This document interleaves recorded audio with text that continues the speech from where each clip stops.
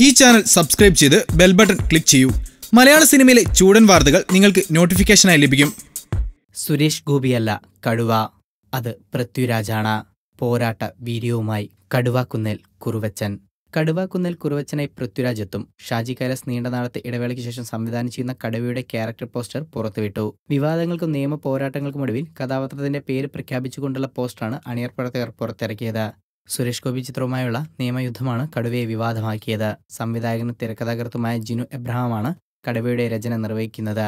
സുരേഷ് ഗോപിയുടെ ഇരുന്നൂറ്റി അൻപതാം ചിത്രമെന്ന നിലയിൽ പ്രഖ്യാപിച്ച ചിത്രത്തിന് സമാന പ്രമേയമാണെന്നും സുരേഷ് ഗോപി ചിത്രത്തിന്റെ ചിത്രീകരണം തടയണമെന്ന ആവശ്യവുമായി ജിനു എറണാകുളം ജില്ലാ കോടതിയിൽ ഹർജി നൽകിയിരുന്നു.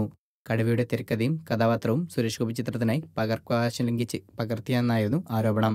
കഥാപാത്രത്തിന്റെ പേരും തിരക്കഥയും ഉപയോഗിക്കുന്നത് പകർപ്പകാശ ലംഘനമാണെന്ന് കോടതി ഉത്തരവിൽ വ്യക്തമാക്കി. മേജിക് ഫ്രെയിംസിന്റെ ബാനറിൽ ലിസ്റ്റിൻ ശിവൻ സുപ്രിയ മേനോൻ എന്നിവർ ചേർന്നാണ് കടുവ നിർമ്മിക്കുന്നത്.